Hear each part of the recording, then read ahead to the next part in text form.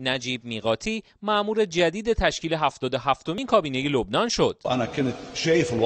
من وضعیت را به خوبی می‌بینم. وضعیت بسیار سخت و دشواری در کشور حاکم است و ما باید گفتگوهای فراگیری برای تشکیل دولت داشته باشیم.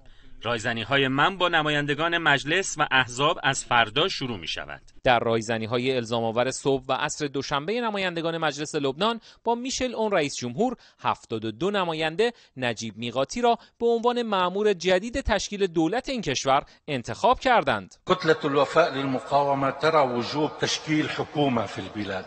فراکسیون وفاداری به مقاومت تشکیل دولت را امر ضروری می‌داند. ما برای خروج لبنان از بحران سیاسی و اقتصادی و کمک به مردم تلاش خود را انجام می دهیم. اولین واکنش بازار لبنان نیز به این انتخاب افزایش حدود ده درصدی ارزش پول ملی این کشور بود. تشکیل حکومه تشکیل دولت اولین و مهمترین گام برای خروج لبنان از بحران سیاسی و اقتصادی است. انتخاب معمور تشکیل کابینه به جا و سریع بوده اما همه می‌دانند آمریکا، عربستان و همدستان داخلیشان دست از توطعه نمی‌کشند. نجیب میقاتی در سال 2005 میلادی و بعد از ترور رفیق حریری نخست وزیر موقت و در سالهای 2011 تا 2013 میلادی نیز نخست وزیر لبنان بوده است. حالا گام بعدی رایزنی ها و گفتگوهای معمور جدید تشکیل کابینه با نمایندگان مجلس و احزاب و گروه های سیاسی برای انتخاب وزرای دولت 77 لبنان است. حسن عظیمزاده خبرگزاری صدا و سیما کاخ ریاست جمهوری لبنان